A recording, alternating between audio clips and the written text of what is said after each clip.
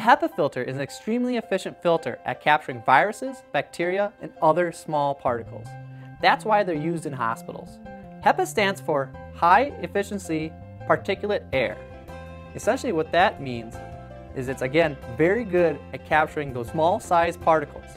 Typically, the ratings range from 99.97% effective to 99.99% effective on 0.3 microns. They're far better below that size or above that 0.3 micron size, but they rate at that 0.3 micron size because that's the hardest particle to catch. And since they're in mission critical applications, they rate them at their worst day at the worst time. HEPA filters capture particles in three different ways.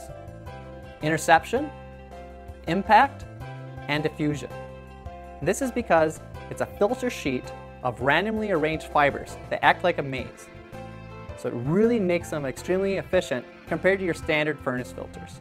When looking at HEPAs, it's extremely important to look at how much filter media you have because size matters. With the ISO-Aire HEPA filters, we have a high capacity medical grade design. Our filters weigh up to 30 pounds. That's so we get three to five years of life out of the units. Whereas competitor unit HEPA filters weigh a mere pound or two and are designed only to last a few months. This adds up very fast to costing a lot of money. So while initially this larger HEPA filter may cost more up front, it will save a lot of money and pay for itself in the long run versus cheap residential HEPA air filters.